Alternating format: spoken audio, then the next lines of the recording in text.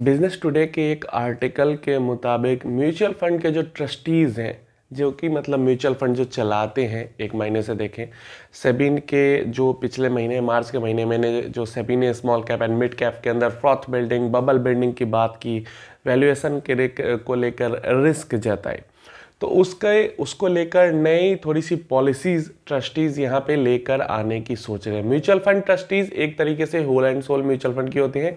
और प्रेजेंट के टाइम में सेबी ने ट्रस्टीज़ को, की रिस्पॉन्सिबिलिटी म्यूचुअल फंड्स को लेकर बहुत ज़्यादा बढ़ा दी है।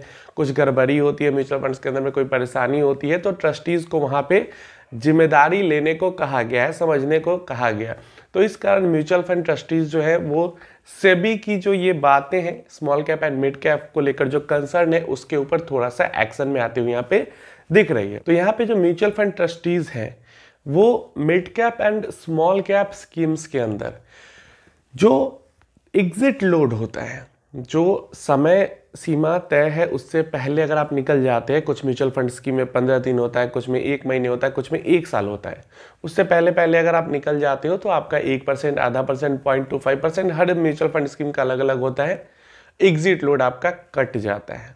पहला तो इसको बढ़ाने की बात कर रही है, और दूसरा जो रिडम्सन जो पैसे आप निकालते हो, और जो विड्रॉ करते हो, पैसा जो मैं बोलूँ, आसान भाषा में उसके ऊपर रेस्ट्रिक्शन लगाने की बात करें। दोनों दो चीज़ें समझते हैं, इसको एक के मैं खिलाफ हूँ, एक के मैं साथ हूँ, कैसे? सबसे पहले बात करते हैं एग्जिट लोड की।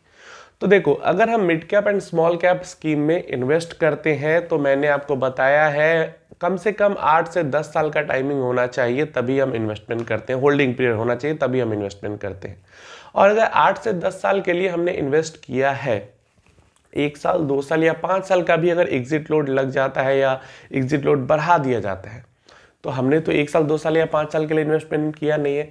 उससे हमें कोई नुकसान नहीं है, जो अच्छे इन्वेस्टर हैं, जो समझदार इन्वेस्टर हैं। अब कोई ऐसा इन्वेस्टर है जिसने स्मॉल कैप फंड में एक साल के लिए या तीन साल के लिए इन्वेस्ट कर दिया तो वो उसकी गलती है। एग्जिट लोड भी कटेगा उसका तो उसकी गलती है, या अगर नुकसान में भी वो निकलेगा तो वो उसकी गलती है, क्योंकि small cap mid cap scheme इतने शॉर्ट टर्म के लिए नहीं बने हैं।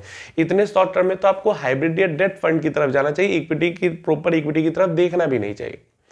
तो ये चीज़ है। तो चाहे एक्सपेंस चाहे जो एग्जिट लोड है वो बढ़े मतलब दो परसेंट एग्जिट लोड हो जाए या तीन परसेंट एग्जिट लोड हो जाए। चाहे एक साल के अंदर में एग्जिट करने पे दो तीन परसेंट एग्जिट लोड वो ले ले बढ़ा के, या फिर एक परसेंट ही एग्जिट लोड को एक साल से बढ़ा के दो साल करे या तीन साल करे या पाँच साल कर दे। कई स्कीम्स का पास्ट में हमने देखा, मोतीलाल की स्कीम्स है, निपॉन की स्कीम्स है, जिसका पंद्रह दिन या एक महीना एग्जिट लोड हुआ करता था पहले। Mid cap, small cap schemes की उनको बढ़ा के एक एक साल तक किया गया है। तो हो सकता है फ्यूचर में और भी म्यूचुअल फंड स्कीम्स हैं जो हो सकता है एक साल से भी एग्जिट लोड को आगे बढ़ाया जाए, दो साल, तीन साल या पाँच साल तक ले जाया जाए तो कोई दिक्कत नहीं। पाँच साल तो बहुत कम उम्मीद है, हो सकता है दो साल या तीन साल तक एग्जिट लोड को बढ़ा के ले जाया तो मैं बिल्कुल इसके साथ हूँ। बाकी आपकी क्या राय है इसके बारे में ज़रूर बताना। इन्वेस्टर के डिसिप्लिन के लिए ये बहुत ज़रूरी है। दूसरा जो पॉलिसी के बारे में बात हो रही है, वो है रेस्ट्रिक्शन ऑन विड्रॉल या रिडम्सन तो ये मेरे अकॉर्डिंग सही नहीं है। एग्जिट लोड जब बढ़ गया एग्जिट लोड जब बढ़ा दिया गया तो रिडेम्सन में आज मैंने इन्वेस्ट किया। मैं अगले महीने रिडीम करना चाहूँ या एक साल बाद या तीन साल बाद या पाँच साल बाद या दस साल या पचास साल बाद, वो म्यूचुअल फंड की खासियत ही यही है कि म्यूचुअल फंड में कोई रिस्ट्रिक्शन नहीं है। जब पैसा मन करे, जितना पैसा मन करे इन्वेस्ट करो, जब पैसा मन करे, जितना मेरा पैसा मन करे, निकाल लो। और यहाँ पे अगर इसके ऊपर रेस्ट्रिक्शन लगा दिया जाएगा, चाहे वो small cap mid cap scheme में इन्वेस्टर की भलाई के लिए ही लगाई जा रही हो, लेकिन कई सारे इन्वेस्टर को थोड़ी सी दिक्कत हो सकती है इसके कारण। इवन मैं भी इस चीज़ के सपोर्ट में नहीं हूँ कि विड्रॉल पे रेस्ट्रिक्शन लगाना चाहिए। ठीक है एसआईपी पे आप लगा रहे हो लमसम पे लगा रहे हो रेस्ट्रिक्शन अच्छी चीज़ है। लेकिन मेरा पैसा जहाँ पे इन्वेस्टेड है, वहाँ से मुझे अपना ही पैसा निकालने के लिए, चाहे कोई भी रीजन हो मुझे किसी तरीके का रेस्ट्रिक्शन बर्दाश्त नहीं है। तो इस तरीके की अगर पॉलिसी कोई निकल के आती है तो इन माय ओपिनियन ये एक बहुत बेकार डिसीज़न बुरा डिसीज़न होगा रेगुलेटर्स की तरफ़ से।